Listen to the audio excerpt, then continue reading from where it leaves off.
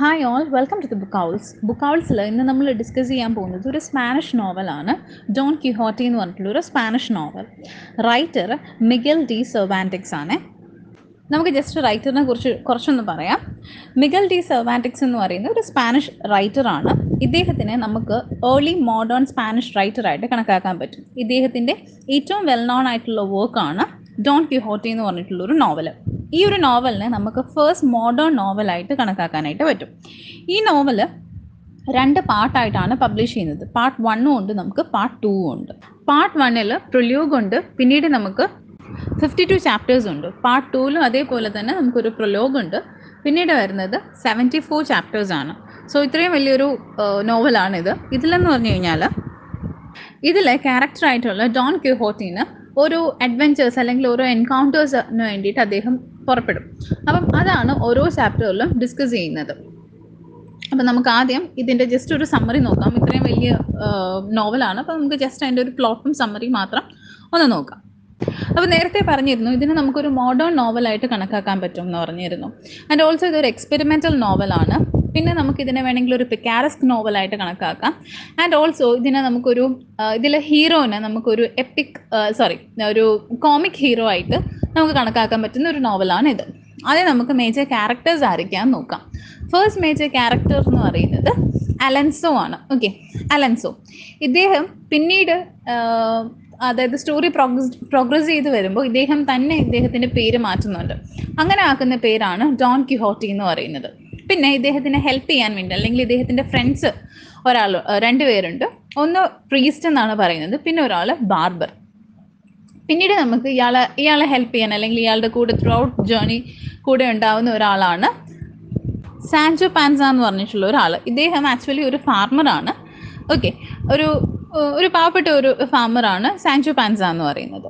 പിന്നീട് നമുക്കുള്ള കുറേ മൈനർ ക്യാരക്ടേഴ്സ് ഉണ്ട്. കുറേ കുറച്ച് പ്രീസ്റ്റ് കാര്യങ്ങളൊക്കെ വരുന്നുണ്ട്. പിന്നെ ഇടയ്ക്ക് കുറേ ട്രീറ്റ്സ്മാൻ അങ്ങനെയൊക്കെ വരുന്നുണ്ട്.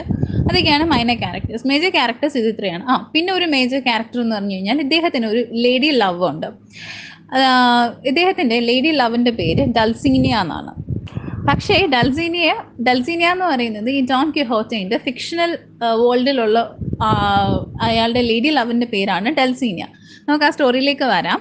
പക്ഷേ ഈ ഒരു ഡൽസീനിയയുടെ യഥാർത്ഥ പേരെന്ന് പറയുന്നത് അൽഡോൺസ ഡി ലൊറൻസോ എന്നാണ് കേട്ടോ. പിന്നീട് നമ്മളുടെ ഡോൺ കിഹോട്ടിന് ഒരു ഹോഴ്സ് ഉണ്ട്. ഒരു ഒരു വയസ്സായ ഒരു ഹോഴ്സാണ് ഈ ഹോഴ്സിന് ഒരു പേരുണ്ടായിരുന്നു. ആ പേരൊക്കെ ഇദ്ദേഹം കളഞ്ഞിട്ട് ഈ ഹോഴ്സിന് റീനെയിം ചെയ്യുന്നുണ്ട്. റോസിനാന്റ റോസിനാന്റ എന്ന് പറഞ്ഞിട്ട് ഈ ഹോൾസിന് റീനെയിം ചെയ്യുന്നുണ്ട്. അപ്പോൾ ഞാൻ ക്യാരക്ടർ ലിസ്റ്റ് പറഞ്ഞപ്പോൾ രണ്ട് പേര് പറഞ്ഞല്ലേ? എല്ലാവർക്കും രണ്ട് പേരുണ്ടായിരുന്നു. അപ്പോൾ ഇനി എന്തുകൊണ്ടാണ് ഇങ്ങനെ രണ്ട് പേരെന്നൊക്കെ നമുക്കിനി നോക്കാം. നമ്മുടെ സ്റ്റോറിയുടെ പ്രൊട്ടാഗനിസ്റ്റ് ആയിട്ടുള്ള അലൻസോ ഇദ്ദേഹം ഒരു മിഡിൽ ഏജ്ഡ് ആയിട്ടുള്ള ഒരു മാൻ ആണ്. ഓക്കെ പക്ഷേ ഇദ്ദേഹത്തിന്റെ ഹോബി എന്തായിരുന്നു എന്നറിയുമോ ഇദ്ദേഹത്തിന്റെ ഹോബി എന്ന് പറഞ്ഞു കഴിഞ്ഞാൽ ഇങ്ങനെ റൊമാൻസസ് വായിക്കുക. അതും എന്ത് റൊമാൻസസ് ആണ്? മിഡീവൽ ഷിവൽറിക് റൊമാൻസസ് വായിക്കുക. വായിച്ച് വായിച്ച് എപ്പോഴും ഇത് തന്നെ പണി. എപ്പോഴും ഇതിങ്ങനെ വായിച്ച് വായിച്ച് വായിച്ച് വായിച്ച് ഇയാൾക്ക് അവസാനം വട്ടാവും. ഇദ്ദേഹം ഒരു ഫാന്റസി വേൾഡിലേക്ക് എന്റർ ആവും. നമ്മൾ ഈ മണിച്ചിത്രത്താഴ് ഫിലിമിലൊക്കെ പറയുന്നില്ലേ? പണ്ട് കാലം മുതലേ ഇങ്ങനെ കണ്ടും കേട്ടും വളർന്ന ഛേ സോറി കഥകൾ കേട്ട് വളർന്നത് കൊണ്ടാണ് ഇപ്പം ഇങ്ങനത്തെ ഒരു ക്യാരക്ടറുള്ള ട്രാൻസ്ഫോർമേഷൻ വരുന്നത് എന്ന്. അപ്പം അതേ സെയിം സാധനമാണ് ഇദ്ദേഹത്തിന് ഇവിടെ പറ്റുന്നത്. ഇദ്ദേഹം ഇങ്ങനെ ഈ പറയുന്ന പോലെ മിഡീവൽ റൊമാൻസസ് അല്ലെങ്കിൽ ഷിവൽട്രിക് ആയിട്ടുള്ള റൊമാൻസസ് ഒക്കെ വായിച്ച് വായിച്ച് വായിച്ച് വായിച്ച് ഇദ്ദേഹം അങ്ങനെ ഒരു വേൾഡ് അങ്ങ് ക്രിയേറ്റ് ചെയ്യും. ഓക്കെ ഈ ഷിവൽട്രിക് റൊമാൻസസിന്റെ ഒക്കെ പ്രത്യേകതകൾ എന്താണ്? അതിൽ മെയിൻലി സെലിബ്രേറ്റ് ചെയ്യുന്നത് എന്താ? നൈറ്റ് ഫുഡിനെയാണ് അല്ലേ? നൈറ്റ് ഹുഡിനെ സെലിബ്രേറ്റ് ചെയ്യും. ഇനി നൈറ്റ്സിന്റെ പ്രത്യേകത എന്താണ്? അവർക്ക് പടച്ചട്ട കാര്യങ്ങൾ ആമോഡ് ആയിരിക്കും എപ്പോഴും. ഓക്കെ പിന്നീട് എന്താ? അവർക്കൊരു മറ്റേ കുന്തവും സാധനങ്ങളും ഒക്കെ കാണും. പിന്നെ അവർക്കൊരു കുതിരയെ കാണും അല്ലേ? അപ്പം കുതിര ഉണ്ടാവും. പിന്നെ ഈ ഒരു നൈറ്റിനെ അസിസ്റ്റ് ചെയ്യാൻ വേണ്ടിയിട്ട് ഒരാളുണ്ടാവും. അദ്ദേഹത്തിന് കൊടുക്കുന്ന പദവിയാണ് സ്ക്വയർ അങ്ങനെ അങ്ങനത്തെയൊക്കെ കുറേ കാര്യങ്ങൾ. ആൻഡ് ഓൾസോ എന്താണ് ഇവർക്ക് ഒരു ലേഡി ലവ് ഉണ്ടായിരിക്കും. ഇവരുടെ ഈ ലേഡി ലവ് എന്ന് പറഞ്ഞു കഴിഞ്ഞാൽ കോൺസ്റ്റന്റ് ആയിരിക്കും. അവരുടെ ലൈഫിൽ ആകെ ഒരു ലേഡി ലവേ കാണത്തുള്ളൂ. ഇവർ പിന്നെ ഇപ്പോൾ എന്തെങ്കിലും യുദ്ധത്തിനൊക്കെ പോകുന്നതിന് മുന്നേ ആദ്യം ഇവരുടെ ബ്ലെസ്സിങ്സ് ഒക്കെ വാങ്ങിക്കാനൊക്കെ ആയിട്ട് പോകും. ഇവരെ എപ്പോഴും ഇങ്ങനെ ഇൻവോക്ക് ചെയ്യും. എന്തെങ്കിലും ഗുഡ് ഡീഡ്സ് ഒക്കെ ചെയ്യുന്നതിന് മുന്നേ.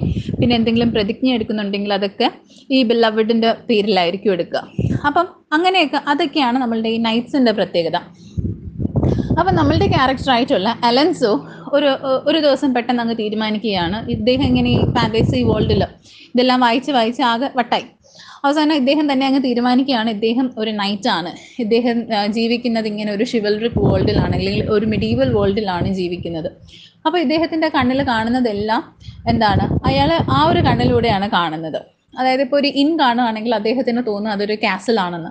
പ്രോസ്റ്റിറ്റ്യൂട്ട്സിനെ കാണുമ്പോൾ അദ്ദേഹത്തിന് തോന്നുന്ന വലിയ എവിടത്തെയോ നല്ല നല്ല ഭയങ്കര ലേഡീസ് ആണെന്ന് തോന്നും.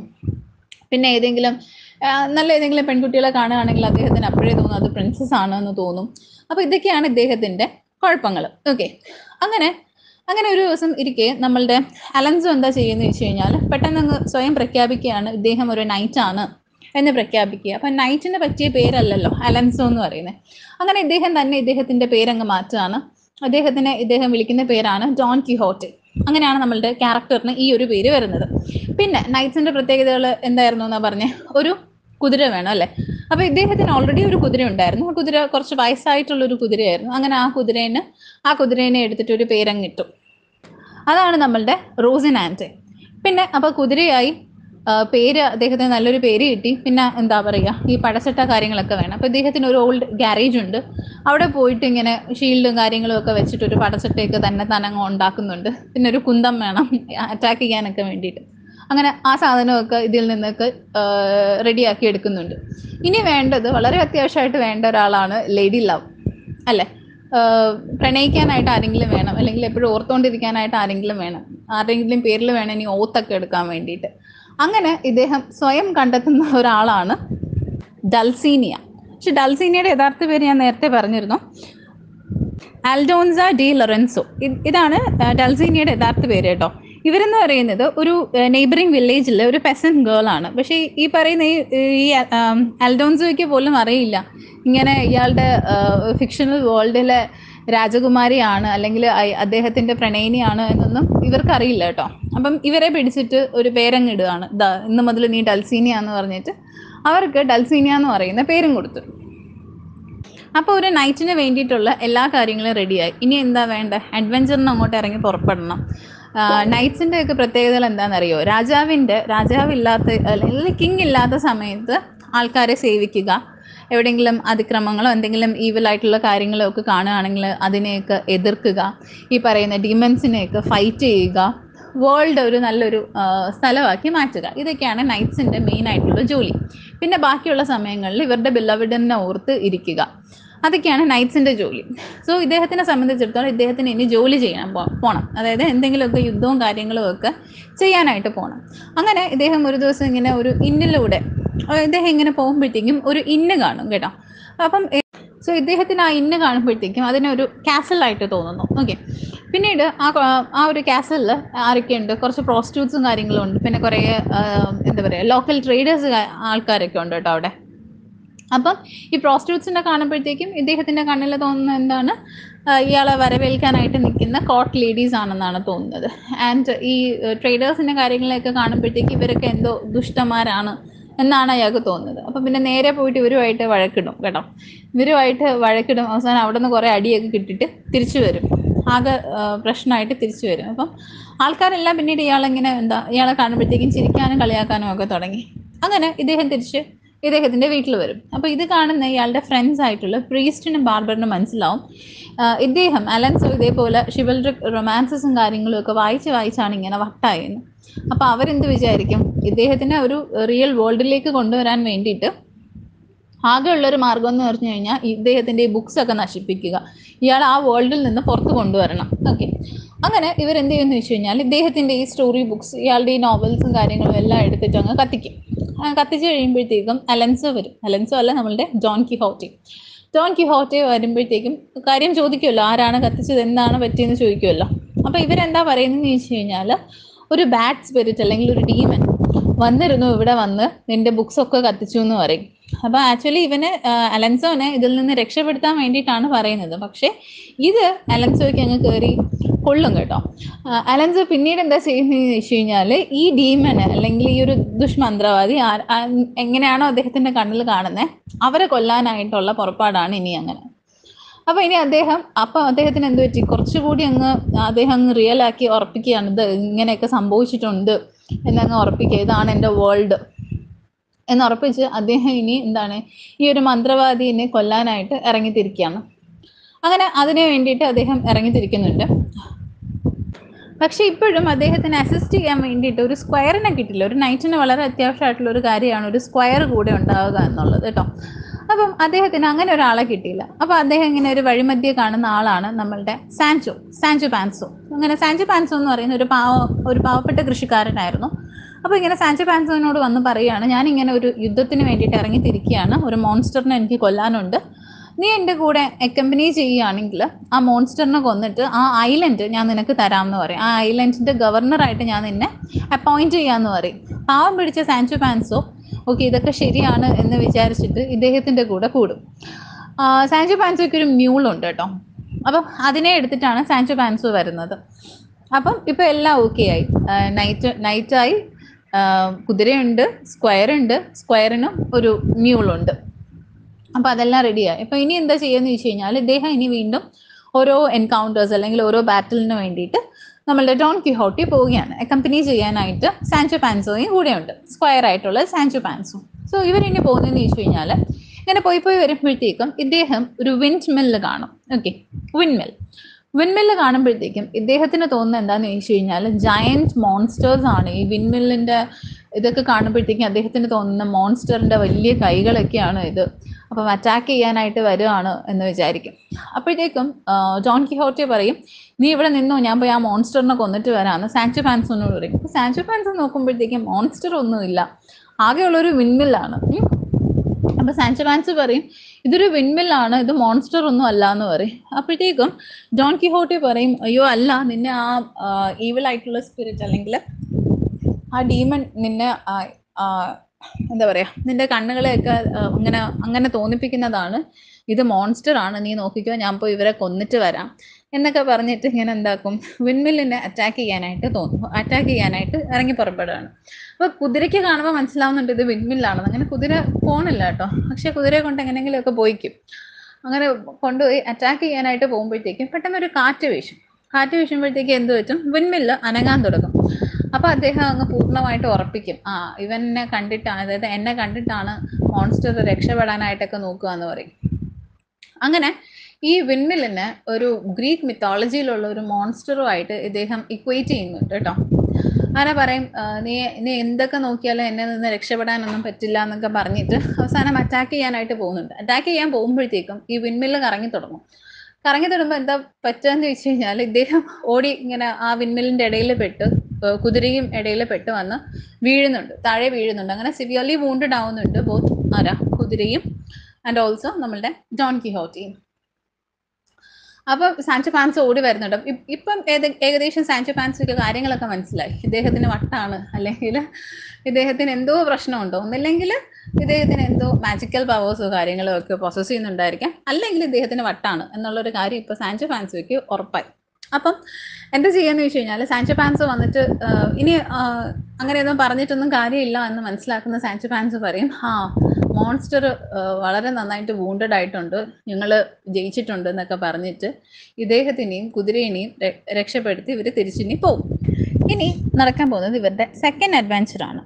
സെക്കൻഡ് അഡ്വഞ്ചറിൽ ഇവരിങ്ങനെ ഇവരുടെ ജേർണി കണ്ടിന്യൂ ചെയ്യുകയാണ്. പോകുന്നത് എങ്ങോട്ടാന്ന് വെച്ച് കഴിഞ്ഞാൽ ഒരു ഒരു സ്ഥലത്തിലേക്ക് പോവുകയാണ്.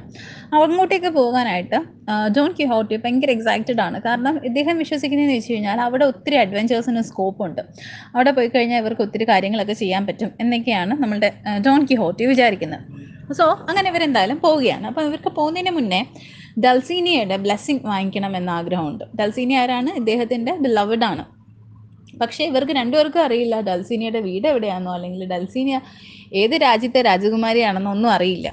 സോ അപ്പം എന്തായാലും അത് പ്രാക്ടിക്കലി പോസിബിൾ അല്ല. അങ്ങനെ ഇദ്ദേഹം നടന്നു പോവുകയാണ്. ആ പിന്നെ ഞാൻ നേരത്തെ പറയാൻ വിട്ടു. ഇദ്ദേഹം ഒരു വിൻമില്ലുമായിട്ട് ഫൈറ്റ് ചെയ്യുന്നുണ്ടല്ലോ. അപ്പോൾ ഇദ്ദേഹത്തിന്റെ ലാൻസ് ഒടിഞ്ഞു പോകുന്നുണ്ട്. കുന്തം. ഓക്കെ ഇദ്ദേഹത്തിന്റെ ലാൻസ് ഒടിഞ്ഞു പോകുന്നുണ്ട്. അങ്ങനെ നമ്മളുടെ ജോൺ കിഹോട്ടി ഇപ്പോൾ ആകെ വിഷമത്തിലാണ്. കാരണം ഒരു നൈറ്റിനെ സംബന്ധിച്ചിടത്തോളം അദ്ദേഹത്തിന്റെ ലാൻസ് എന്ന് പറയുന്നത് അദ്ദേഹത്തിന് വളരെ ഇമ്പോർട്ടന്റ് ആണ്. അദ്ദേഹത്തിന്റെ വെപ്പനാണത് സോ അദ്ദേഹം ഭയങ്കരമായിട്ട് ഡിസപ്പോയിന്റഡ് ആണ് ഇദ്ദേഹത്തിന്റെ ലാൻസ് പോയുണ്ട് അപ്പം അങ്ങനെ പോകുമ്പോഴത്തേക്കുമാണ് ജോൺ കിഹോട്ടെ അദ്ദേഹം വായിച്ചിട്ടുള്ള ഒരു നോവലിലെ ഒരു ഒരു ഹീറോയിനെ കുറിച്ച് ഹീറോ അല്ല ഒരു നൈറ്റിന്റെ കഥ അദ്ദേഹത്തിന് ഓർമ്മ വരുന്നത്. മാൻഷോ ഓക്കെ മാൻഷോ എന്ന് പറഞ്ഞിട്ടുള്ള ഒരു നൈറ്റ് ഉണ്ടായിരുന്നു. ഈ ഒരു നൈറ്റും ഇതേപോലെയുള്ള ഒരു എൻകൗണ്ടറിൽ അദ്ദേഹത്തിനും അദ്ദേഹത്തിന്റെ ലാൻസ് നഷ്ടപ്പെടുന്നുണ്ട്. അല്ലെങ്കിൽ ലാൻസ് പൊട്ടിപ്പോകുന്നുണ്ട്. പിന്നീട് അദ്ദേഹം എന്താ ചെയ്യുന്നതെന്ന് വെച്ച് കഴിഞ്ഞാൽ ഒരു ഓക്ക് ട്രീയിൽ നിന്ന് ഒരു ബ്രാഞ്ച് ഒടിച്ചിട്ട് അദ്ദേഹം പിന്നീട് അതാണ് വെപ്പനായിട്ട് അല്ലെങ്കിൽ ലാൻസ് ആയിട്ട് ഉപയോഗിക്കുന്നത്. അപ്പോൾ അതേപോലെ ഏതെങ്കിലും ഒരു ഓക്ക് മരത്തിന്റെ ചില്ല ബ്രാഞ്ച് എടുത്ത് ഇദ്ദേഹത്തിനും അതേപോലെ ഒരു വെപ്പൺ ഉണ്ടാക്കാൻ പറ്റും എന്ന് വിശ്വസിച്ച് ഇനി ജോൺ കിഹോട്ടെ അദ്ദേഹത്തിന്റെ ജേണി തുടങ്ങുകയാണ്. അപ്പോൾ ഇങ്ങനെ ജേണി മുന്നോട്ട് പോയിക്കൊണ്ടിരിക്കുമ്പോഴത്തേക്കും ആ, സാൻചോ ഫാൻസോ ഇദ്ദേഹത്തിനെ ഫുഡ് കഴിക്കാൻ വേണ്ടിയിട്ട് ഇൻവൈറ്റ് ചെയ്യുന്നുണ്ട്. അപ്പം ഡോൺ കിഹോട്ട് എന്താ പറയുന്നതെന്ന് ചോദിച്ചു കഴിഞ്ഞാൽ നൈറ്റ്സിന് ഒരിക്കലും ഇങ്ങനെ ഫുഡും കാര്യങ്ങളും ഒന്നും വേണ്ട. അവരുടെ ജോലി എന്ന് പറഞ്ഞു കഴിഞ്ഞാൽ എന്താണ്? യുദ്ധം ചെയ്യുക ബിലവഡിനെ ഓർത്തിരിക്കുക. ഇതൊക്കെയാണ് നൈറ്റ്സിന്റെ ഡ്യൂട്ടി ഈ ഫുഡ് കാര്യങ്ങൾ എന്നൊക്കെ പറയുന്നത് സാധാരണ ആൾക്കാർക്ക് പെട്ടതാണ്. നമുക്ക് വിശപ്പും കാര്യങ്ങളും ഒന്നും ഇല്ല എന്നാണ് ആര് പറയുന്നത് ജോൺ കിഹോറ്റെ പറയുന്നത്. അങ്ങനെ സാൻജോ പാൻസ മാത്രം ഫുഡും കാര്യങ്ങളും ഒക്കെ കഴിച്ച് നല്ല സുഖമായിട്ടിരിക്കുകയാണ്. ഓക്കെ അങ്ങനെ നൈറ്റ് ഇവരിങ്ങനെ ഒരു ട്രീയുടെ ചോട്ടിൽ ഇങ്ങനെ ഇരുന്ന് ഉറങ്ങ ഉറങ്ങാനായിട്ട് പോകും. അപ്പം അവിടെയും നമ്മളുടെ സാൻജോ പാൻസോ ഇൻവൈറ്റ് ചെയ്യുന്നുണ്ട് ഉറങ്ങാൻ വേണ്ടിയിട്ട്.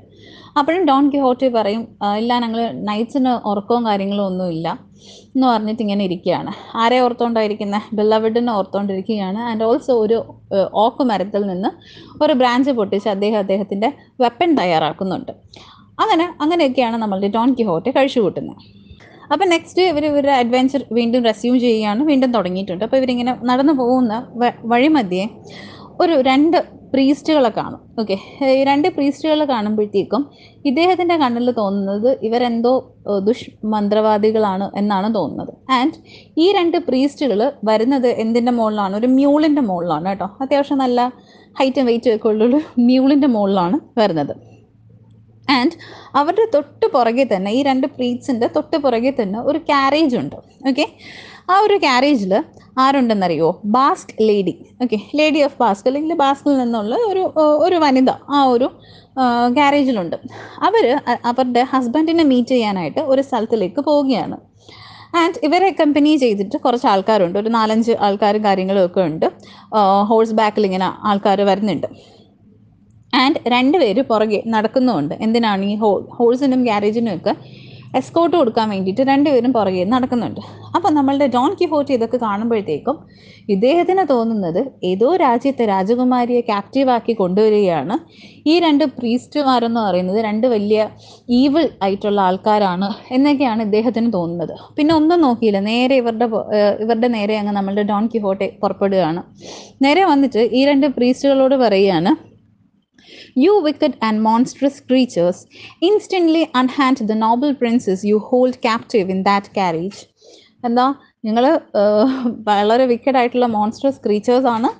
എന്താ വേണം? ആ പ്രിൻസസ്സിനെ നിങ്ങൾ ക്യാപ്റ്റീവ് ആക്കി വെച്ചിരിക്കുന്ന പ്രിൻസസ്സിനെ എത്രയും പെട്ടെന്ന് ഫ്രീ ചെയ്തു എന്ന് പറയുകയാണ്. അപ്പോൾ ഇത് കേട്ട് നിൽക്കുന്ന രണ്ട് പ്രീസ്റ്റുകൾക്കൊന്നും മനസ്സിലാവുന്നില്ല. എന്താണ് ഈ സംഭവം എന്നൊന്നും മനസ്സിലാവുന്നില്ല. അപ്പോൾ അവർ തിരിച്ച് പറയുന്നുണ്ട് ഞങ്ങൾ നിങ്ങൾ പറയുന്ന പോലെ ഒരു വിക്കറ്റ് മോൺസ്റ്റേഴ്സോ അല്ലെങ്കിൽ ക്രീച്ചേഴ്സോ ഒന്നും അല്ല. ഞങ്ങൾ സെയിന്റ് ബെനഡിക്റ്റിന്റെ ആണ്. ഓക്കെ ഞങ്ങൾ ഇങ്ങനെ രണ്ട് പ്രീസ്റ്റുകളാണ് ആൻഡ് ഓൾസോ ആ ക്യാരേജിലുള്ള ക്യാപ്റ്റീവ് പ്രിൻസസ് ആണോ അതോ വേറെ ആരെങ്കിലും ആണോ എന്നും ഞങ്ങൾക്ക് അറിയില്ല എന്ന് പറയുന്നുണ്ട്. അപ്പോൾ ഇതൊന്നും നമ്മളുടെ ഡോൺ കിഹോട്ട് കേൾക്കുന്നില്ല. ഇദ്ദേഹത്തിനെ സംബന്ധിച്ചിടത്തോളം ഇവർ വിക്കഡ് ആണ് മോൺസ്ട്രസ് ആയിട്ടുള്ള ക്രീച്ചേഴ്സ് ആണ്. നേരെ വോറൻ അങ്ങ് പുറപ്പെടുക ഓക്കെ അങ്ങനെ പുറപ്പെട്ട് ആദ്യം ഇരിക്കുന്ന ഫാദറിനെ ഇങ്ങനെ അടിക്കാനായിട്ട് പോകുന്നുണ്ട്. അതായത് ഒരു ഫൈറ്റ് ചെയ്യാനായിട്ട് പോവുക. അപ്പോഴത്തേക്കും പെട്ടെന്ന് ആ ഫാദർ സോറി പ്രീസ്റ്റ് മ്യൂളിന്റെ ദേഹത്തു നിന്ന് ചാടി പുറത്ത് വരുന്നുണ്ട്. ഐ മീൻ ലൈക്ക് താഴോട്ട് ഇറങ്ങുന്നുണ്ട്. അങ്ങനെ രക്ഷപ്പെടുന്നുണ്ട് കേട്ടോ. ഇത് കണ്ട് നിൽക്കുന്ന മറ്റേ പ്രീസ്റ്റിനെ ഒന്നും നോക്കണ്ട എന്ന് പറഞ്ഞിട്ട് ഓടി രക്ഷപ്പെടുന്നുണ്ട്. സോ പിന്നീട് വരുന്നതെന്ന് വെച്ച് കഴിഞ്ഞാൽ ആരാണ്? ഈ ഹോഴ്സ് ബാക്കിൽ ഇരിക്കുന്ന ആൾക്കാരൊക്കെയാണ് വരുന്നത്. ഇവർ വരുമ്പോഴത്തേക്കും ഇദ്ദേഹവുമായിട്ട് ഫൈറ്റ് ചെയ്യുന്നുണ്ട്. നമ്മളുടെ ജോൺ കിഹോട്ടുമായിട്ട് ഫൈറ്റ് ചെയ്യുന്നുണ്ട്. അതിൽ നമ്മളുടെ ഹോഴ്സിന്റെ കോച്ച്മാൻ പറയുന്നുണ്ട്. കോച്ച്മാനുമായിട്ട് ഫൈറ്റ് ചെയ്യുന്നുണ്ട്. അപ്പോൾ അദ്ദേഹം ഇങ്ങനെ അദ്ദേഹം പറയുകയാണ് ഒന്നില്ലെങ്കിൽ നീ വഴി മാറുക അല്ലെങ്കിൽ നീ നിന്നെ ഞാനിപ്പോൾ കൊല്ലും എന്നൊക്കെ പറയുന്നുണ്ട്. അങ്ങനെ ഇവർ രണ്ടുപേരും കൂടി ഒരു ഫൈറ്റിൽ അങ്ങോട്ട് ഏർപ്പെടുക.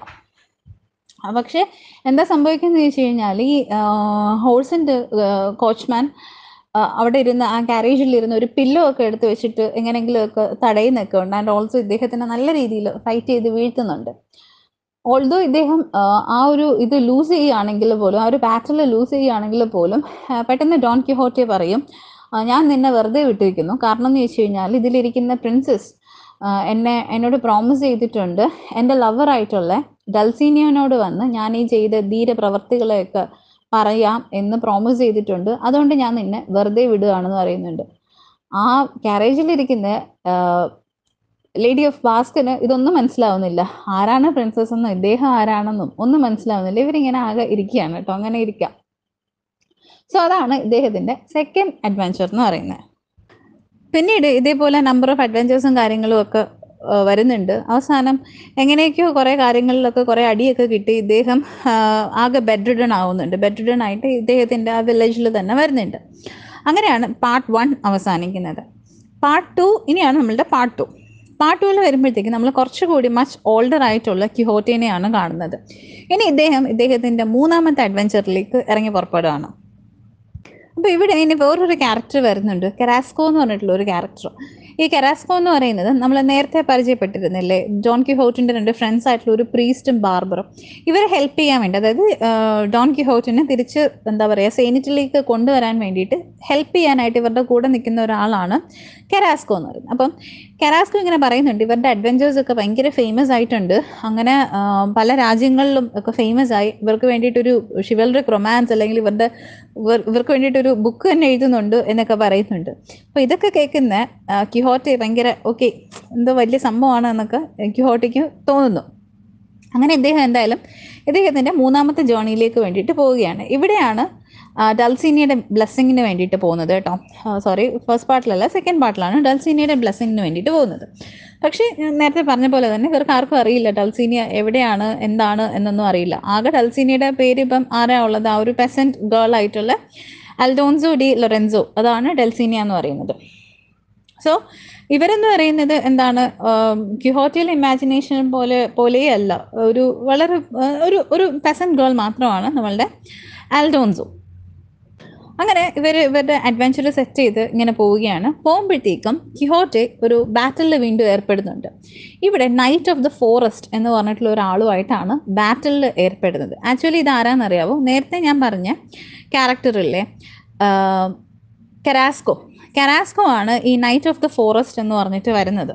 അതായത് ഇദ്ദേഹത്തിന്റെ ഇമാജിനേഷനിൽ നൈറ്റ് ഓഫ് ദ ഫോറസ്റ്റ് ആയിട്ട് ഇവരെ ഹെൽപ്പ് ചെയ്യാനായിട്ടാണ് ആക്ച്വലി കരാസ്കോ വരുന്നത്. അതായത് ഇദ്ദേഹത്തിന് തിരിച്ചെന്താ പറയുക ഇദ്ദേഹത്തിന്റെ മെന്റൽ സ്റ്റേറ്റ് ഒക്കെ റെഡി ആക്കുക എന്നുള്ള രീതിയിൽ ആണ് വരുന്നത്. അങ്ങനെ ഇവർ തമ്മിൽ എൻകൗണ്ടറും കാര്യങ്ങളും ഒക്കെ വരുന്നുണ്ട്. പക്ഷേ എന്ത് പറ്റുന്നുണ്ട് എന്ത് പറ്റുന്നു വെച്ച് കഴിഞ്ഞാൽ നമ്മളുടെ കരാസ്കോ ഇതിൽ ഫെയിൽ ആവുന്നുണ്ട് കേട്ടോ. അങ്ങനെ കരാസ്കോ തിരിച്ചു പോകുന്നു. പിന്നീട് നമ്മളുടെ കിഹോറ്റയും സ്ക്വയറും വീണ്ടും അവരുടെ ജേണി തുടരുകയാണ്. തുടരുമ്പോഴത്തേക്ക് ഇവർ കുറേ നല്ല ആൾക്കാരെയൊക്കെ പരിചയപ്പെടുന്നുണ്ട്. അങ്ങനെ പരിചയപ്പെടുന്നതാണ് ഒരു ഡ്യൂക്കിനെയും ഡച്ചസിനെയും ഇവരുടെ ഫ്രണ്ട്സായിട്ട് അതായത് നല്ല സൗഹൃദത്തിൽ ഏർപ്പെടുന്നു. അങ്ങനെ അങ്ങനെ ഡ്യൂക്കും ഡച്ചസും ഇവർക്ക് വളരെ എക്സ്ട്രാ വാഗന്റ് ആയിട്ടുള്ള ഒരു വെൽക്കമും കാര്യങ്ങളും ഒക്കെ പ്രൊവൈഡ് ചെയ്യുന്നുണ്ട്. പക്ഷേ ആൻഡ് ഓൾസോ ഇങ്ങനെയൊക്കെ ചെയ്യുന്നുണ്ടെങ്കിൽ പോലും കുറേ ക്രൂവൽ ആയിട്ടുള്ള ട്രിക്സ് ഒക്കെ ഇവരുടെ മെയിലിൽ കാണിക്കുന്നുണ്ട് കേട്ടോ. കാരണം ഒരു ഒരു ഫൂളായിട്ട് ഇവർ പിന്നീടൊക്കെ ആകുന്നുണ്ട് പിന്നെ ഇങ്ങനെ ഇങ്ങനെ ആ, ഒരു സ്റ്റോറി പ്രൊഡ്യൂസ് ചെയ്യുമ്പോഴത്തേക്കും ഡ്യൂക്കും ഡച്ചസും അറിയുന്നുണ്ട് നമ്മളുടെ സ്ക്വയറിന് അതായത് സാൻചോ പാൻസോയ്ക്ക് ഒരു ഐലൻഡ് കൊടുക്കാം എന്ന് ആര് പറഞ്ഞിരുന്നു? നേരത്തെ നമ്മളുടെ ഡോൺ കിഹോറ്റെ പറയുന്നുണ്ട്. അപ്പം ഇത് മനസ്സിലാക്കുന്ന ഡ്യൂക്ക് ഇദ്ദേഹത്തിന് ഒരു ഗവർണറായിട്ട് ഒരു സ്മോൾ ടൗണിന്റെ ഗവർണറായിട്ട് നിയമിക്കുന്നുണ്ട് നമ്മളുടെ സാൻചോ പാൻസോനെ പക്ഷേ ഇദ്ദേഹം അങ്ങനെ നിയമിക്കുന്നതെന്ന് വെച്ച് കഴിഞ്ഞാൽ ഒരു വളരെ ഇല്ലിറ്ററേറ്റ് ആയിട്ടുള്ള ഒരാളാണ്. ഇയാളെ ഹ്യൂമിലിയേറ്റ് ചെയ്യാം. ഒരു ഇഗ്നറന്റ് ആയിട്ടുള്ള ഒരു പെസന്റ് ആണല്ലോ നമ്മളുടെ സാൻചു പാൻസോ. അപ്പോൾ ഇദ്ദേഹത്തിനെ ഹ്യൂമിലിയേറ്റ് ചെയ്യാം എന്നുള്ള ഒരു രീതിയിൽ കളിയാക്കാം എന്നുള്ള രീതിയിലാണ് അപ്പോയിന്റ് ചെയ്യുന്നത്. പക്ഷേ എന്താ സംഭവിക്കുകയെന്ന് വെച്ച് കഴിഞ്ഞാൽ സാൻജെ പാൻസോ വളരെ വൈസ് ആയിട്ടുള്ളൊരു റൂളറായിട്ട് മാറുകയാണ്. വളരെ ഗിഫ്റ്റഡ് ആയിട്ടുള്ളൊരു റൂളറായിട്ട് മാറുന്നുണ്ട്. പക്ഷെ അങ്ങനെ പോകുമ്പോഴും സാൻജോ പാൻസോയ്ക്ക് ഒരു ഒരു തൃപ്തിയില്ല. കാരണം എന്താണ്? ജോൺ കിഹോറ്റെ ആയിട്ടുള്ള ഒരു കമ്പനി ഇദ്ദേഹത്തിന് നഷ്ടപ്പെടുന്നു. നഷ്ടപ്പെടുന്നു. അപ്പം അപ്പോൾ അദ്ദേഹത്തിന് ഒരു തൃപ്തിയില്ല ഈ ഒരു വർക്കിൽ അങ്ങനെ അദ്ദേഹം റിസൈൻ ചെയ്തിട്ട് വീണ്ടും ഡോൺ കിഹോട്ടിന്റെ കൂടെ തന്നെ പോകുന്നുണ്ട്. പുതിയ പുതിയ അഡ്വഞ്ചേഴ്സ് തേടി പോവുകയാണ്. അങ്ങനെ ഇവർ രണ്ടുപേരും കൂടെ വീണ്ടും അഡ്വഞ്ചേഴ്സ് തേടി ഇറങ്ങുന്നു. അപ്പോൾ ഇതിന്റെയൊക്കെ ഇടയ്ക്ക് അവർ കുറേ ഇൻട്രസ്റ്റിംഗ് ആയിട്ടുള്ള സ്ട്രേഞ്ചേഴ്സിനെ പരിചയപ്പെടുന്നുണ്ട്. കുറേ പേരൊക്കെ ആയിട്ട് വീണ്ടും ഇതേപോലെ എൻകൗണ്ടേഴ്സും കാര്യങ്ങളും വരുന്നുണ്ട്. കുറേ പേര് നല്ല ഫ്രണ്ട്സാക്കി ഇവരുടെ കൂടെ നല്ല ഫ്രണ്ട്സ് ആവുന്നുണ്ട്.